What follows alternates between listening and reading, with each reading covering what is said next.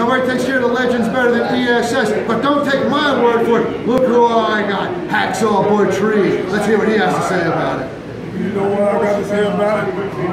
What I have to say about it is what he said is what's going on. This is my man here now. and mess with ESS and mess with Butch Reed. And that is no BS. So town, come see us. We the real deal.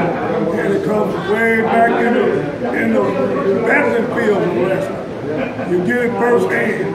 So, like I say, when you want to see and understand the real deal of wrestling, talk to Eric Simms, and he'll go through Butch Reed and get all the rest of of the story. Ain't no BS. Hacksaw Butch Reed and ESS.